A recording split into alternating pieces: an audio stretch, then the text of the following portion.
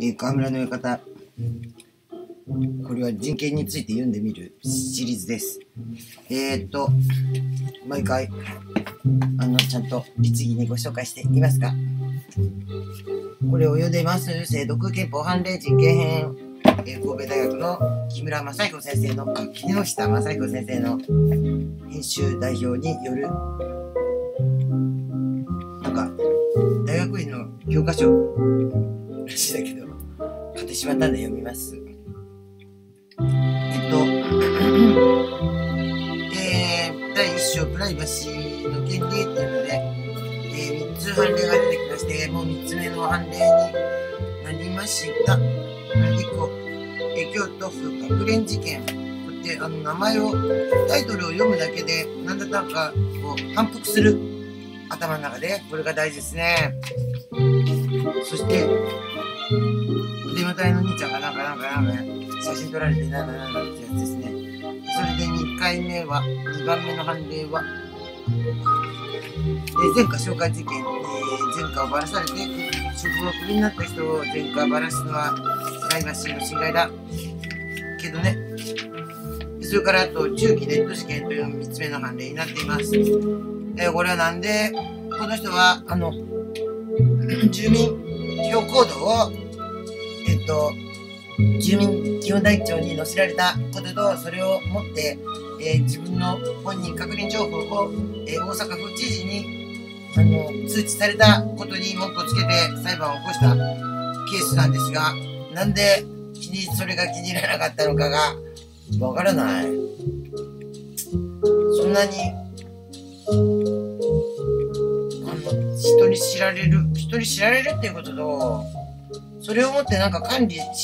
されるっていうことと、あと結局国なんていうのはあるから、フロム先生は、あの、そうじゃないと言ってるけど、なんつうかやっぱり国ってムカつくな。わし、アナキストなんで。えー、判決いきまーす。その、なんか重機ネット事件の判決です。えー、平成20年3月6日。最高裁小法廷判決です。えー、主文、現判決中上告人、敗訴部分を破棄する。を上告したのは誰だ？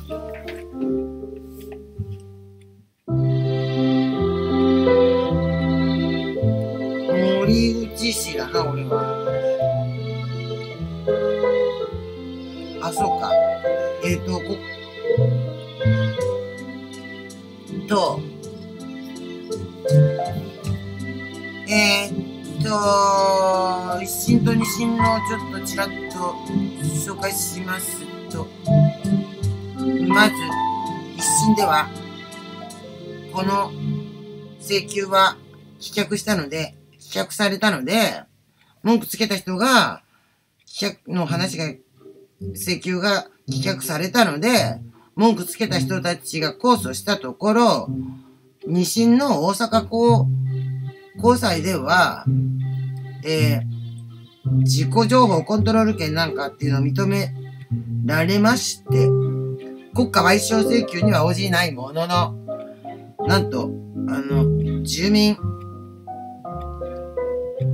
なんだっけ？えっと、お、お、お、お、お、重機ネットの中の住民票コードの削除請求を引用したそこで、そんなこと言ったって、お前、そんなこと言ったって、このあの、住民票コードっていうのは、あの、自分の勝手、自分に何か、あの、こう、確認、あんた住民票コードこれでいいですかっていう過程がなく勝手につけられているから、嫌だと思うから、なんか、判決の中でそういう仕組みも、なんか詳しく出てくるみたいなんで、ちょっと、えー、それでその、そこに、あの、入れたいと思うんですけど、えー、住民票コードの削除請求を削除しようよ、ということになった。それで、あの、森あ森口氏はこの前のところだったあ、じゃあ森口さん。で、森口氏は上告したわけですね。そんなこと言ったって、もう仕組みになっちゃってるんで、あの、困るよ。それで、そんな、なんだか、何を言ってる、その子だからね、これ全部、この X という、その、まず、原告が、えー、何についてどうして危険だと思ったのかっていうことがと書いてないんで、わかんないんですけど、もしかしたら判決の中に出てくるかもしれないので、ちょっと期待して先に進めてみましょう。それでは、えー、っと、上告人、え現判決中上告人、敗訴部分を破棄する、えやっぱりだからあの、えー、一番最初にまずも住基ネットの住民票コードを削除しなくていいよってことになったってことですね。えー、全項の部分につき、非上告人らのコストをいずれも棄却するを、控訴費用及び上告費用は、非上告人らの負担とするあの原告が払わされてしまったってことは、かわいそうに。この人どういう人でなんでこんなことやったんだああ、挑んだ、挑んだの。アナキストだった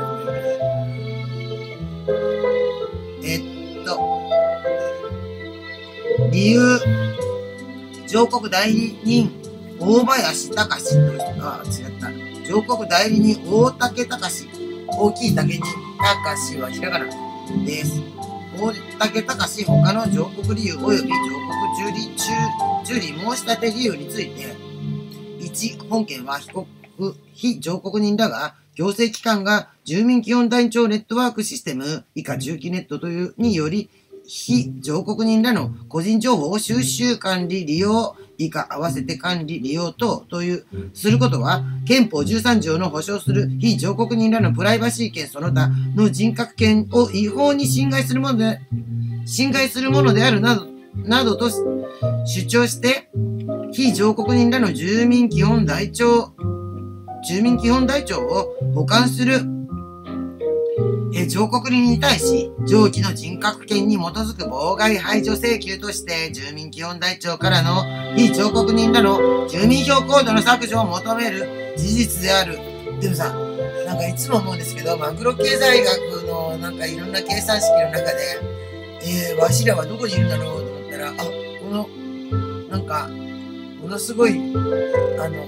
数の1、しかもなんか約1になってるみたいな。約1万人約1。0.7か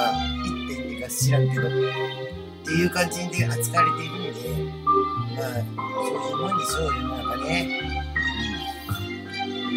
でもその時は、まだこの時は、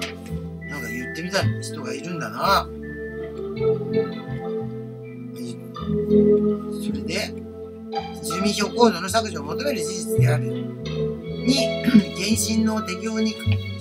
原審の適用に確定した事実関係の概要等は次の通りである。括弧1、住民基本台帳以下19、住民基本台帳法以下19法は、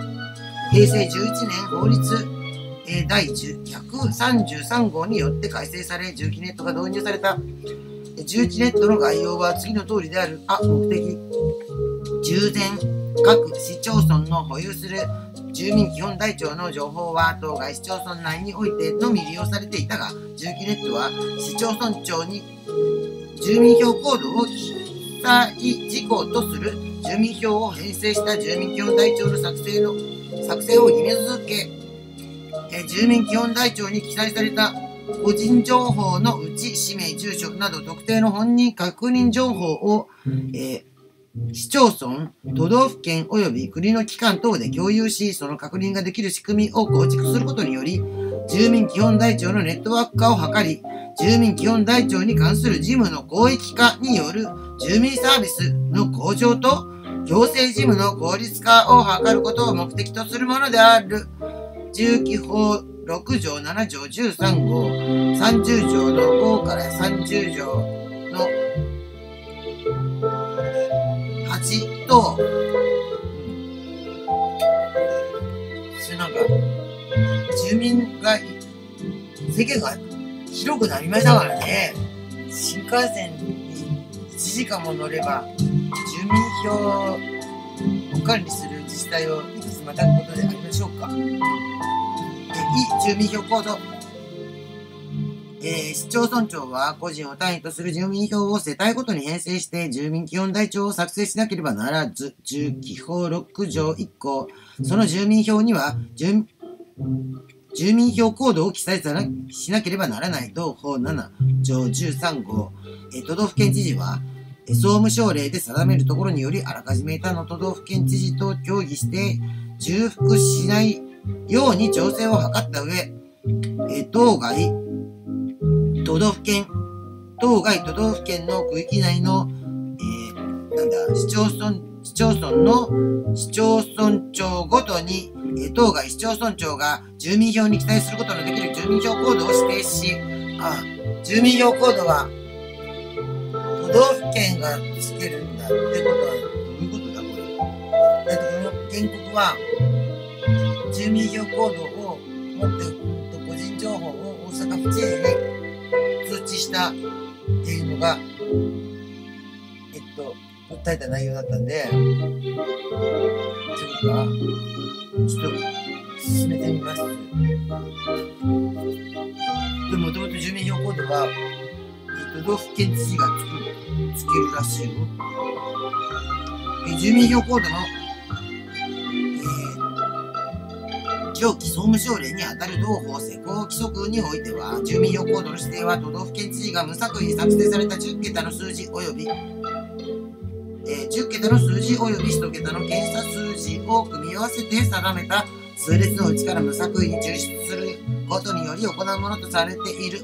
同法施行規則1条14条。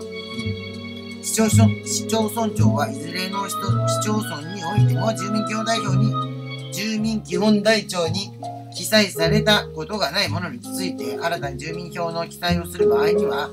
場合は都道府県知事から指定された上記の住民票コードのうちから1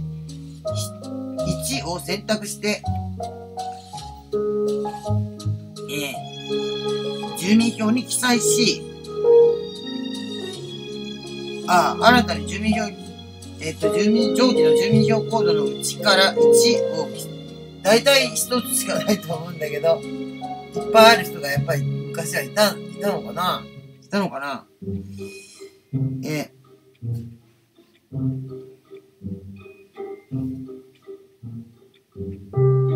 なんだ？あを、1を選択して、え住民票に記載し、同法30条の2、第2項、それ、いずれかの市町村において住民基本台帳に記録されたものについての、住民票の記載をする場合は、直近に住民票の記載をした市町村長が記載した住民票コードを。記載する同条1項。本人確認情報、えー、中期ネットによって管理利用される、管理利用等される個人情報である本人確認情報は住民票の記載事項中期法7条のうち丸1氏名1号2生年月日2号3性別3号4住所7号括弧以上1から4を合わせて以下4情報という、うん、に住民票コード13号。および住民票の記載に関する事項で政令で定めるもの以下。変更情報というを加えたものであ加えたものである。括弧。同法30条の5第1項。変更情報とは具体的には移動自由。転入出生転出死亡等を住民票を動かしたい動年月日及び移動前の本人確認情報である、えー同法施行令30条の5。うん、どこまで読もうかな。どこまで読もうかな。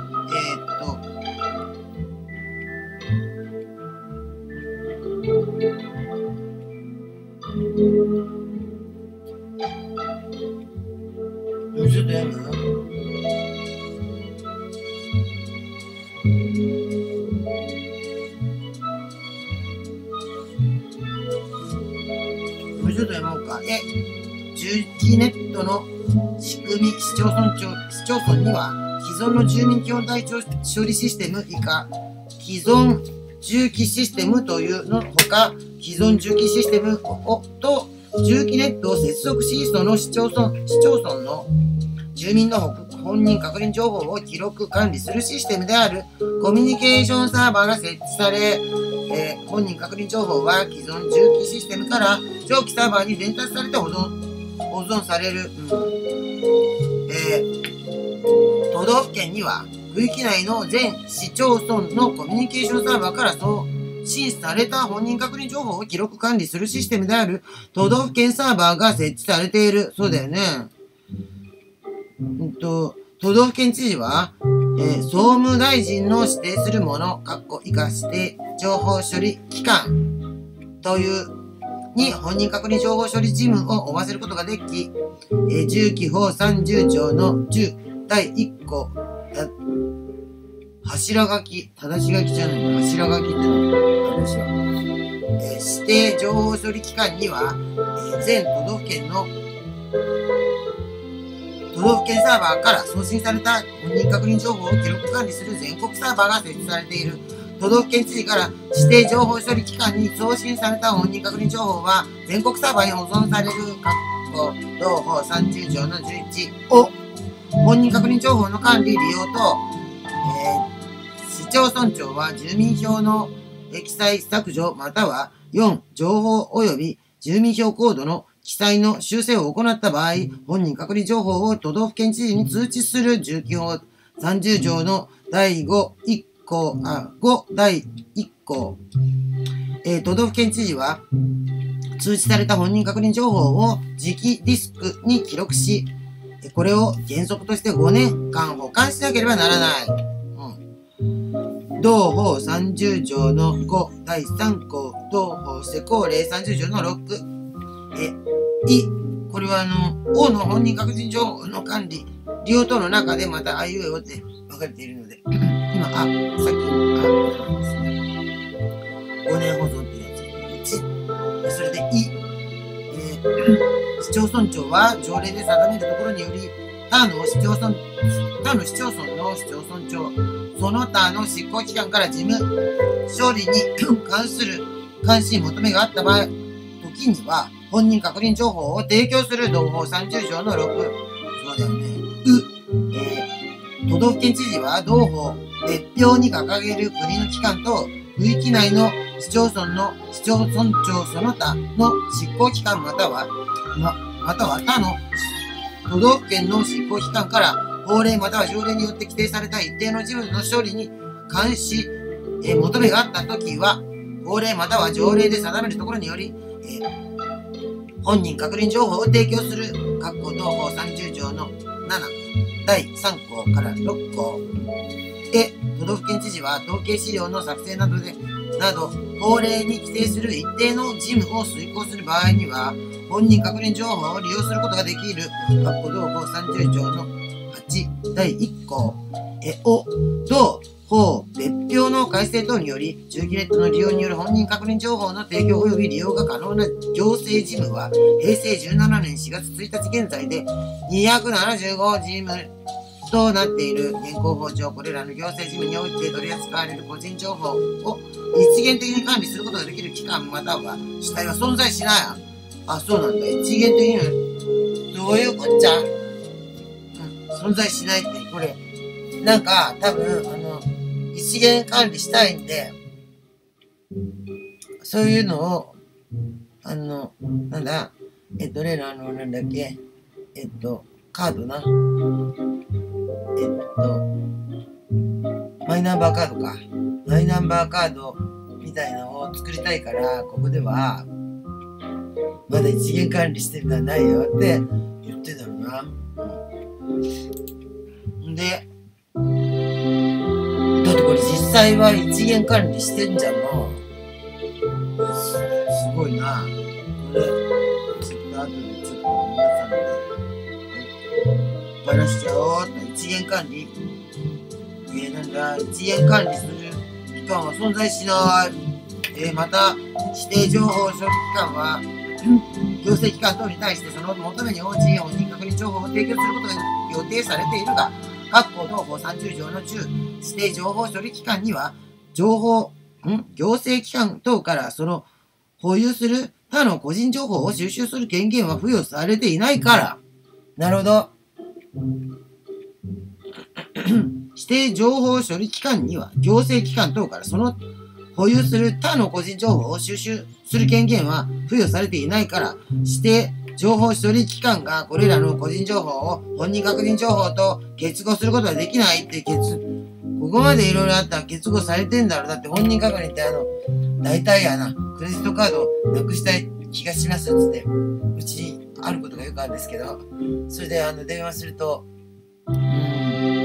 生年月日と名前をで本人確認しますって言うんですけど、こんなんで本人確認できるのかなと、いつも思いました。それから、さっきの、おに続いて、この情報の管理、利用と、についての規定が変わりまして、え、か、本人確認情報の目的外利用についての、えー、くだりになります。あ、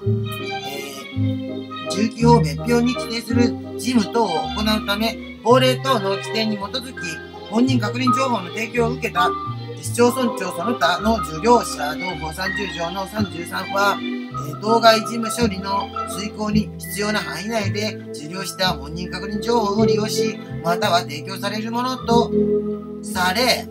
当該事務処理以外、当該事務の処理以外の目的のための利用または提供は禁止されている。禁止しときゃ、一応あの、法律を作った人は OK なんだけど、実際、ないとは言えない。ないとは言えないんでね、禁止をすることが、この法律を作った人の、まあ、お仕事ですか。で、あとなんか責任は、あの、使う人にぶん投げたってことですかね。なんだ？い行政機関は特定された、特定された目的、え利用目的の達成に必要な範囲を超えて個人情報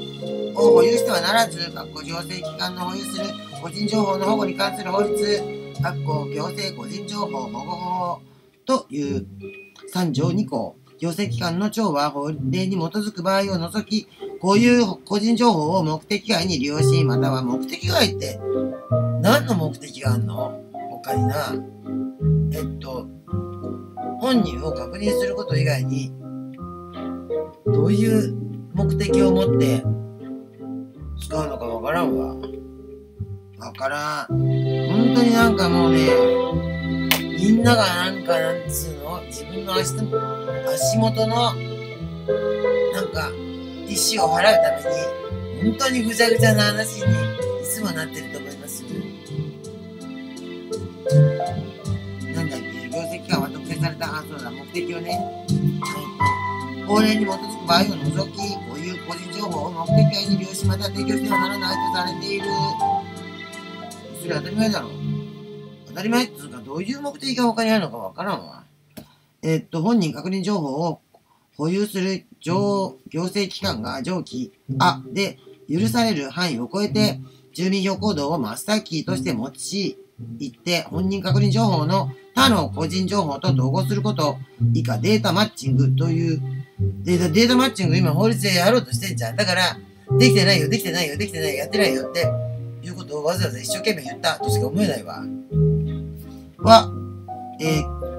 中期法30条の34に規定する職務上の義務に違反する行為にあたり、懲戒処分の対象となる国家公務員法82条、地方公務員法29条、え、行政機関の職員がデータマッチングなど上記あの範囲を超えて超える利用のために個人情報の秘密に属する事項が記録された文書等を収集した場合には場合にはどうなの？えー、その職権を乱用してもっぱらその職務のえー、用以外のように要する目的で行ったとき、個人情報、えー、行政個人情報保護法54 55条にあたり、刑罰の対象となる。情指定情報処理機関の役員及び職員、えー、過去19法30条の17第3項、えー、本人確認情報の提供を受けた市町村が、え、都道府県または都道府県または国の機関の職員がその知り得た本人確認情報に関する秘密を他の機関に機関等に漏洩した場合には公務員法の守秘義務違反に該当し刑罰の対象となるなんかなここにこれを発端としてなんか喋りたくないことを国民に隠す仕組みを作る意図があったようにしか思えない。公務員の守秘守秘義務違反に該当し、刑罰の対象となる国家公務員法109条12号、100条1項、2項及び地方公務員法60条2号、34条1項、2項、えー、本人確認情報の電子計算機処理等に関する事務に従事する市町村長の職員等、宗教30条の31第1項2項が、えー、その事務に関して知り得た本人確認情報に関する、えー、秘密等を漏洩する行為は住基法中期法42条に規定する刑罰の対象になる。また、行政機関の職員が正当な理由がないのに、個人の秘密に属する事項が記録された個人情報ファイルを第三者に提供する行為も刑罰の対象となる。各行政個人情報53条あとあの、監視期間とか、えっと、重機カードとか、続きますが、まだこれからの、これの、重機ネットの仕組みについての、判例の中での解説。途中ですが、ここまでにします。ちょっとポイントがあったと、わしは思うので。それでは今日も万が一30分ですが、あの、最後まで聞いてくださりました方がいらっしゃいましたら、えー、どうもありがとうございました。それではまた。